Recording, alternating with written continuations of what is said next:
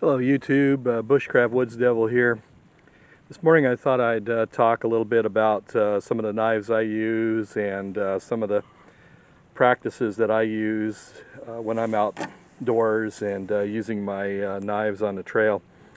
So what do I like to carry? Well, when I first started out, um, I wasn't too smart and I'd carry an overly large knife. I really like Bowies and I still do like Bowies, but Bowies are hard to manipulate and I find any more than any knife with a blade more than say five inches is just really not practical for me. Now that may be different for you, but for me uh, a shorter blade is easier to manipulate. Um, some of the knives that you can use and you'll run into is uh, the traditional scout type knife with the uh, spear point uh, type blade and these have uh, extra tools like an awl and uh, can opener and bottle cap lifter. And this is the traditional Boy Scout knife. It's fine. They generally do not have a locking blade so uh, you could run into a problem with that if it slips and uh, collapses on your hand and cuts you. I do like a locking blade and I think it's very interesting that the Cub Scout pocket knife has a locking blade. Obviously they considered that a young boy just learning is going to make more mistakes until he masters the knife. So they gave them a, a lock blade, but the traditional Boy Scout one is not a lock blade. And uh, so I, I, personally like a lock blade. Now this is a uh, ESEE Zancudo. This is a single blade uh, folder with a pocket clip and a locking blade. And this is a really great knife for a lot of field uh, functions. Uh, you can carve with this and uh, it is not as apt to collapse on your fingers. Now I say not as apt because nothing is foolproof when it comes to a folding knife. A folding knife um, with a locking blade is a safety precaution. It's not a guarantee.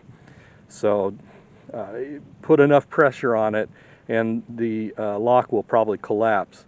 And the less expensive the knife, the more apt or more likely that that lock is going to fail. Now this is a really nice quality lock blade and um, this is not as apt to collapse as say your average uh, uh, liquor store uh, bucket budget knife. Something else that I like to use and I find extremely useful and I carry one every day is a multi-tool because I like to choose a multi-tool with a saw. Uh, the saw is great and I'll demonstrate that in a little bit for um, a lot of the things that I need to craft and it saves me time over trying to do it with a knife blade. I can do the skills with the knife blade but the saw uh, buys me time, it facilitates a lot of those skills faster. Uh, this has a variety of tools in it including pliers and that can be really helpful for picking a hot pot bale off the stove um, or off of a campfire. Um, so, or you want to bend a piece of wire back into shape or something. And then another uh, knife that I eventually like to carry is a fixed blade. I like a small fixed blade. This is a um, Ka-Bar Eskabar. Okay, so this is a, a collaboration between uh, ESEE knives and Ka-Bar knives. So uh, uh, Ka-Bar took the uh, Becker blade design and um, they removed the um, tool that was on this end. I think it had a uh, cap lifter in integrated into the Ethan Becker design. They went with a round um, hole here. Uh, ESEE uh, had input Randall Randall's Adventure and their logo is on the hasp here. I don't know if you can see it, but anyway, um, this is a really a favorite of mine. You can see it's been used a lot. Uh, a lot of, uh, use in that, but it gives me good control because it's a small three inch blade. And um, also too, you got to check your jurisdictions uh, wherever you're at. Uh, there are restrictions on blade lengths. So uh, something to be aware of. Okay, I'm going to set this camera down and uh, see if I can talk about a couple other things. So give me just a second here.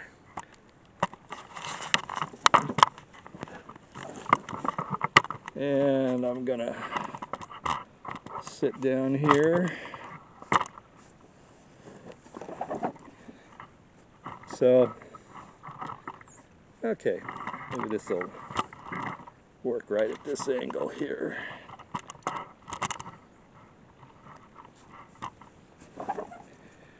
One of the things that uh, you need to um, have with you when you're out in the field is some kind of a uh, field knife sharpener. This is an AccuSharp. This is a um, diamond um, uh, sharpening stone. So one side here is the rough side. It's, it's more of a medium grit. And uh, the other side is a fine grit for finishing uh, your knife blades. Now obviously at home you're going to be taking care of your knives and sharpening them before you go out in the field. But if you're out in the field doing things, you're going to need to do some touch-up at some point. Um, why is that? Well, a sharp knife is a safe knife. If I keep a good sharp edge on this knife, it's going to cut well and I don't have to use as much force. And then I am going to have less likelihood of slipping and self-inflicting a cut. And uh, I will tell you right now, it's not a matter of if you will cut yourself, it's a matter of when you will cut yourself. You will eventually slip and cut yourself if you use knives enough. And if you don't believe that, watch uh, the Alone program on the History Channel. Here you have professional bushcrafters and survivalists, very skilled, and uh, they are out there building things and sooner or later one of them gets knocked out of competition because of a severe uh, laceration or cut. It will happen, it's just a matter of time. So have a sharpening tool with you so that you can touch that blade up. Um, if you don't have a sharpening tool, you can always find a smooth stone by a stream and uh, sharpen that up. Uh, that's always a possibility. So uh, let's see, what else do we have here? Another thing you need is a first aid kit because if you, if and when you do cut yourself, you're going to want to uh, clean up the cut and address it. So this is a must-have, is a first aid kit with some bandages and maybe some uh, gauze and tape that you can uh, uh clean it up and dress it until you can get home and have it cared for properly. This is essential. Knife, sharpening tool, and first aid kit. Gloves, in case you're addressing someone else's cut. Maybe you're with a companion, they slip and cut themselves. Have gloves so that you can protect yourself against uh, uh, bloodborne pathogens, uh, contamination. Okay. Skills. What kind of skills do we need? Okay we need to be able to craft the things that we need. Uh, cutting a piece of wood, as I mentioned, having a um, saw is very useful. There's a sawed end on this branch. Very nice clean cut. Great resource to have. What if I don't have this and I want to cut a limb so that I can make a pot hook or something? Well, one thing you can do is you can do what's called a beaver cut. So what you do is you go around one side of the area you want to cut and you make a series of cuts just like that. Then you reverse the work or you reverse on the work and you cut from the other side. This is just how a beaver makes its cuts when it's uh, felling a tree in a stream. Okay. See how we're hourglassing that down and making it smaller. So eventually we will be able to pare this down so small that it just snaps and now I've cut the limb uh, to um, free it from the tree so that I can now dress it and use it however I need it. So beaver cut. But again, the saw is a very useful tool. Um, let's say I want to make a stir stick for uh, something in camp and I want to remove the bark from uh, a piece of uh, sapling okay instead of holding it in a traditional grip and, and doing this reverse it. Okay? I'm kind of getting used to the backwardsness of this camera. Um, reverse it and just choke up on the blade a little bit. Okay? See how I've kind of pinched it there? And then you would just cut away from yourself and strip the bark from the sapling. This is willow. Pretty soft, easy wood, and it's so abundant. Just, uh, you can cut it and uh, come back a week later and there'll already be new branches coming out of the cut you made. they grow like crazy. So now I have a nice clean uh, piece of wood that I could use to stir um, my soup or hot, hot beverage, whatever. Uh, you have the ability to craft something like that. If I want to make a notch, okay, such as uh, for a um, um, tent stake or a pot hook. Uh, again, the saw is very handy but what I can do is a push cut. So I can push into the wood using my thumb. Okay, I'm holding the knife over here in my hand and I'm using my thumb to push it. All this hand over here is doing is controlling the knife blade. It's not really putting any effort forth. Push it in and then I make a cut across here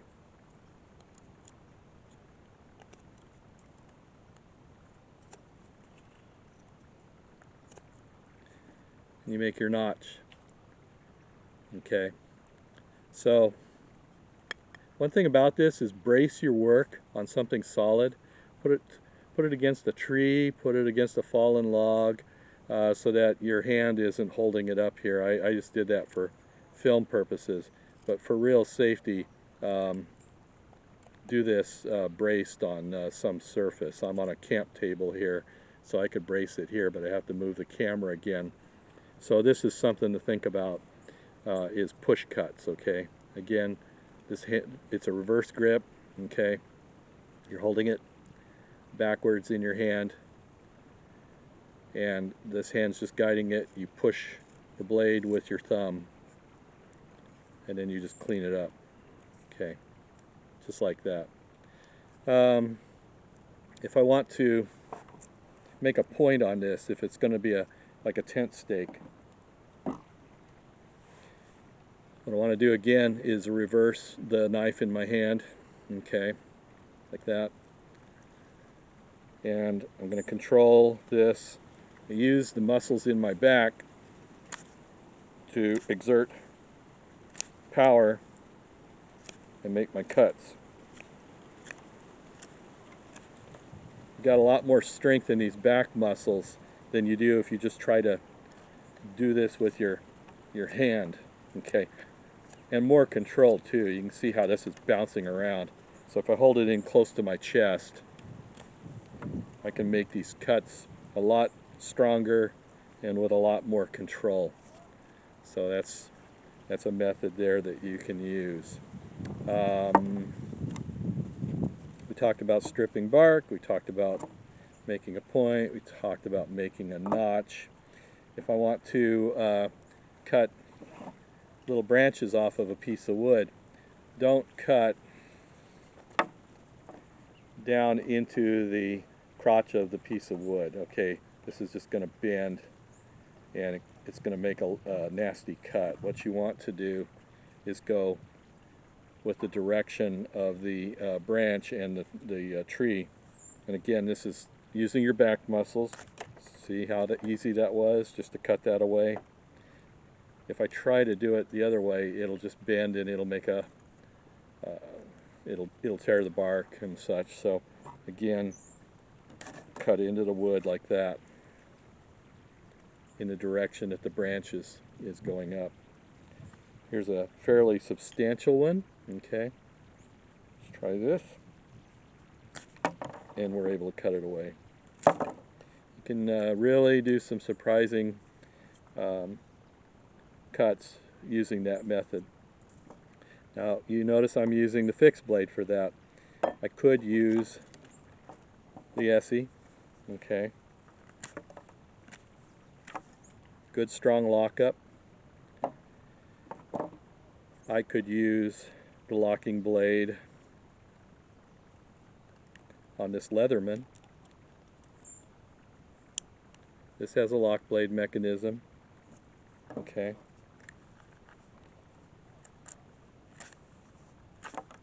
It'll do it too. And yes, the scout knife, but this would not be my choice because again, this can close on my hand or slip. It doesn't lock, it's a slip joint. And this would not be my choice. Um, water, hydration. If you are not staying hydrated when you are doing these uh, skills, um, you're going to get confused, fuzzy-headed. Um, that's when accidents happen. So stay hydrated. Drink water while you're working, before you get dehydrated. I've only been out here about 30 minutes already. My mouth's getting dry. It's not a particularly warm day. It's probably about 75 degrees.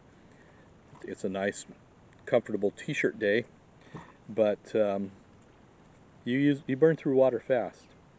So to review, um, sharpen your knives at home before you go out into the field. Put a good edge on them. Take with you a touch-up device, whatever you like, but some kind of a field touch-up um, sharpener so that you can maintain that edge as you're doing work in camp. First aid kit, carry it with you. This way, if you cut yourself or one of your campmates cuts themselves, you have a, a means to care for them and yourself. And finally, hydration. Stay hydrated, clear of he your head, clear of thought, so that uh, you don't have accidents. Okay? That's what I got for you today. I hope you enjoyed the talk, and we'll chat with you later.